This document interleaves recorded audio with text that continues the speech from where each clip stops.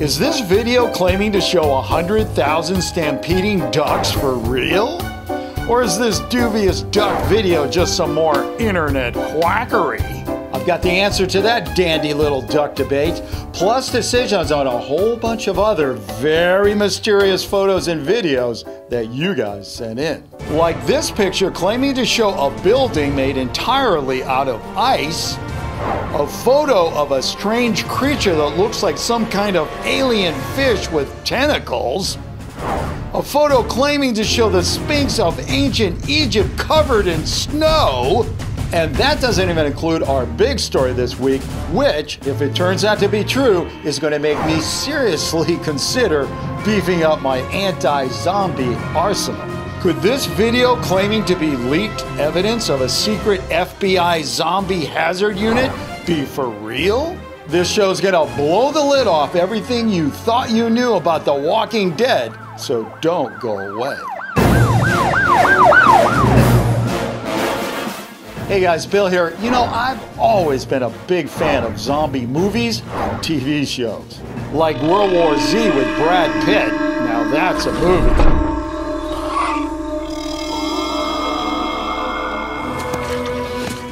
Then there's The Walking Dead about some folks trying to survive a zombie apocalypse.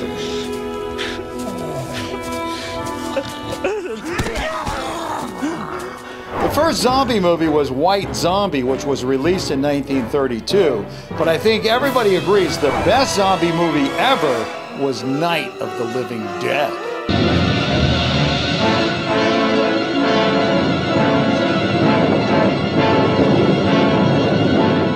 Now, as long as zombies are just fictional characters in movies, you know, I'm fine with that. But when you guys start sending me pictures and videos that claim to show real zombies, then I get worried. Thankfully, most of the evidence that comes in is, hmm, how do I say this? Oh, I know. So, so fake, fake, it's, it's funny. funny! Like this video sent in by Johnny Roro, supposedly showing a zombie in Scotland following their trail when suddenly he came across a lone figure sneaking around the gravestones. He gave chase and quickly closed in on the graveyard trespasser. The person's face seemed genuinely bloodless and pale.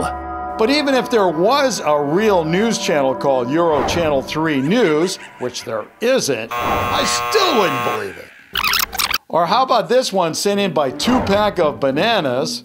Sayahir Sahabuddin and Game Force. I think I saw that mask on sale after Halloween for like, you know, $2. And since when did zombies start wearing Freddy Krueger masks? I gotta tell you, you know, I spend most of my time having a good laugh when this stuff comes in, but then a video like this one comes in. It's called Zombie Apocalypse Leaked Secret FBI Meeting, a must see. It was sent in by Joshua Humphreys, who just asked, Bill, are zombies real? Well, Joshua, I gotta tell you, you know, this is a really scary video for one reason and one reason only, and that is if the FBI has truly a team dedicated to fighting zombies, then that means zombies really exist. So we better take a closer look at this one and see what's going on here. On first look, it looks like the video was made by a YouTube channel called Real Talk Radio with Dan Lane. But further research finds it was originally posted by a channel called Ex Cogitosum under the title Zombie Cover Up Conspiracy. Most of you have never heard of the Zombie Hazard Unit. Those of you who have will try in vain to find me after you see this. The This is a secretly recorded briefing of the Zombie Hazard Unit. All right, take your seats, everyone. We need to get this meeting started. Before we begin, I want to make sure that everybody has picked up their copy of the briefing notes. There are more details. I'm going to give you the outline. In the center, we see a computer display with a Zombie Hazard Unit logo. And the guy giving the briefing is talking about something called the National Security Order 21 Z. National Security Order 21Z, it passed. Our operational authority is supreme. Use it. What he's getting at is that he wants the team to use their new, more powerful operational authority as quickly as they can. As you know, we've been battling a unique biological threat and we've made little progress. Lack of any live specimens. If a body's found at all, it's already permanently dead.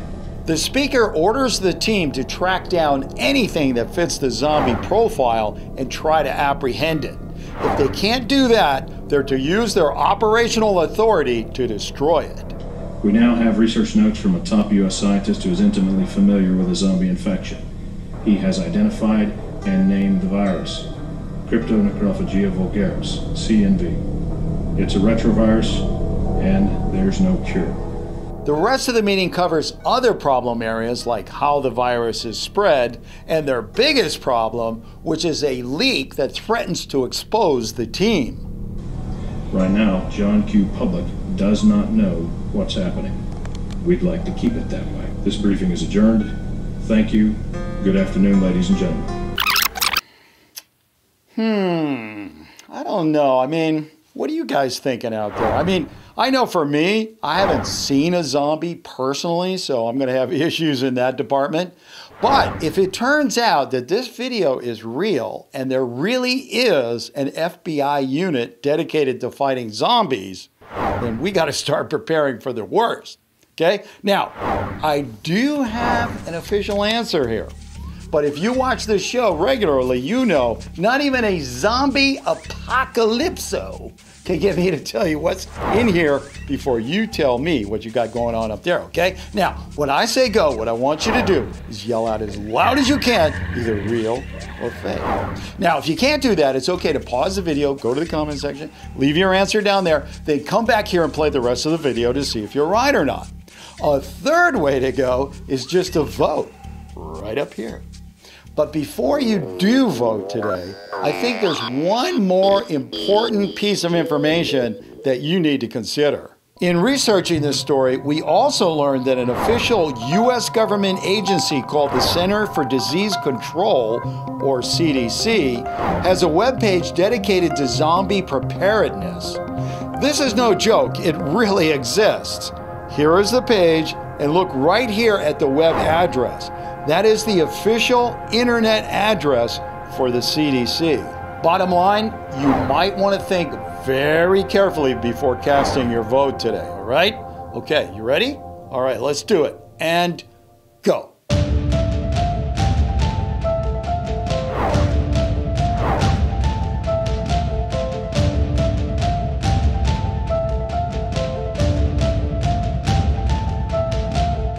Okay, did you vote? Good, because in just a few seconds, we're going to be opening the official envelope and finding out whether that FBI team really exists or not. But before we do that, I've got a couple other rather mysterious photos and videos I want to take a look at. First up is this photo claiming to show a building made entirely out of giant blocks of ice. It was submitted by AJ Smith, who wants to know is this real or fake? Well, AJ, you better keep your long underwear on if you visit this place because it is real. Kurt Anthony Z. Suiko and the ever dependable Isaac Sisson were the first to point out that this photo is from the Harbin International Snow and Ice Festival held every winter in Harbin, China. Hundreds of these amazing buildings and giant sculptures are constructed from huge blocks of ice cut from the nearby Songhua River. It's a winter spectacle that has to be seen to be believed. Next up is a photo of what looks like some kind of bizarre creature from your worst nightmare. Brianna Britt sent this in and asked, I found this on the web. It said it was an alien fish. It has arms and legs. Are these things for real? Well, Brianna, although that thing looks like it comes from outer space, it actually comes from right here on planet Earth. But was it like somebody cooked up something in rubber, or is that a real creature? Well, guess what? If you voted real, you you got another thing coming because it is real. As T. Fook Nguyen, Sean Allen, and many others pointed out, this rarely seen creature is known as a bearded sea devil. This one was caught by a Russian fisherman named Roman Fedortsov who's gotten internet famous for the photos he takes of the strange undersea creatures he pulls up from the Barents Sea. Our final photo is this amazing image of a snow covered sphinx sent in by Anna Kolstrup, who wrote, Hey Bill, is this real or not? Anna, as it turns out, when we did the research, we uncovered the fact that there was a freak snowstorm in Cairo in 2013. So, if you voted real, you're probably going to be in the winner circle, but I just want to double check here. Yep, that's right. It's fake. We have the hoax busting site, Snopes.com, to thank for answering this one. Although the photo itself is real, the claim that this is a real Sphinx in Egypt covered in snow is fake. The Sphinx in the picture is actually just a small scale replica that can be found at the Tobu World Square theme park in Japan. And that's a place where it does snow.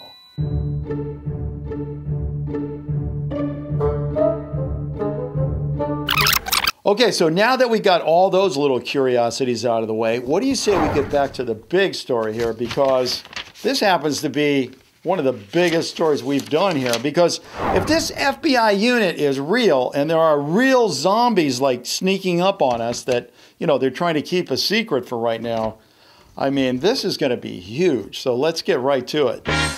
The video claiming to be leaked footage of an elite task force embedded deep within the FBI called the Zombie Hazard Unit has been carefully examined by the Bills Channel fact checking team. Based on careful analysis of all the evidence at our disposal, we have reached a decision. And the decision is Are you ready? Keep your doors locked because here we go. It's 100% without a doubt and beyond any question.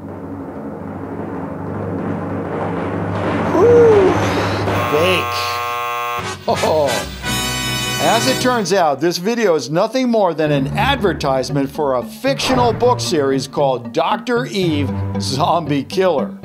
If you watch the video carefully, the presenter tells the group about the book. The story is Dr. Eve Zombie Killer. It's presented as a fictional novel. LabyrinthofArts.com is an independent website where the book can be found. Now, as far as that CDC webpage goes, that one that was dedicated to zombie preparedness, we contacted the CDC to fact check this, and what we got back from them was this statement. And I'm going to read it. This is a quote. What first began as a tongue in cheek campaign to engage new audiences with preparedness messages has proven to be a very effective platform. We continue to reach and engage a wide variety of audiences on all hazard preparedness via zombie preparedness. So, what this means basically is that a U.S. government office is now using clickbait to get you to go to their website. Now, I don't know if that qualifies as fake news, but I guess you gotta say the good news is we now know that zombies don't exist, so we can sleep well. Or can we? When I posted the question, Are zombies real? on my YouTube community page, some of you guys made some very good points. A lot of people, like President of YouTube, asked, If zombies are not real, then why do we talk about them? Aiden Fives pointed out there's a new drug that literally turns people into zombies. Jordy Perez and OMG They Killed Kenny both reported the poison of the puffer fish can also be used to turn people into zombies.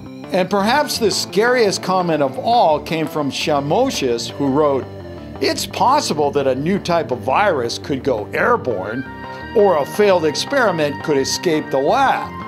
Uh, why couldn't the Montauk monster be some some critter that they were tinkering with that somehow uh, went into the water and got swept by that outgoing tide? Montauk is uh, is south and east of Plum Island. Uh, why couldn't it be that? Now that I think about it, you know what? We better play this safe and keep an eye on this subject. So I'll tell you what, this is what we're going to do. If you have or you come across any evidence of real live zombies, what I want you to do is email that to me at billschannel at gmail.com and I'll take a look. Please don't leave links or suggestions in the comment section because really, the only thing that's going to do is turn me into a zombie running down the street screaming, You're driving me crazy! See you next time. Now, about that video claiming to show hundreds of thousands of ducks stampeding through the streets like some kind of zombie duck apocalypse. That video, it turns out, is real. In Thailand, where this video was shot, ducks are raised as livestock, and these quick footed quackers are probably being driven to market.